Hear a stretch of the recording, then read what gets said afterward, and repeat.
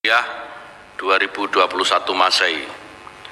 Mengingat dan seterusnya memutuskan menetapkan keputusan Menteri Agama tentang pembatalan keberangkatan jemaah haji pada penyelenggaraan ibadah haji tahun 1442 Hijriah atau 2021 Masehi.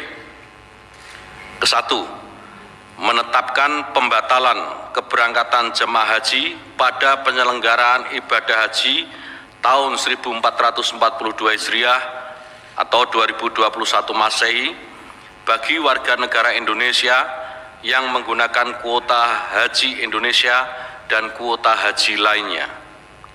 Kedua, pelaksanaan ketentuan sebagaimana dimaksud dalam diktum ke-1 tercantum dalam lampiran yang merupakan bagian yang tidak terpisahkan dari keputusan ini. Ketika keputusan ini mulai berlaku pada tanggal ditetapkan, ditetapkan di Jakarta pada tanggal 3 Juni 2021. Terima kasih.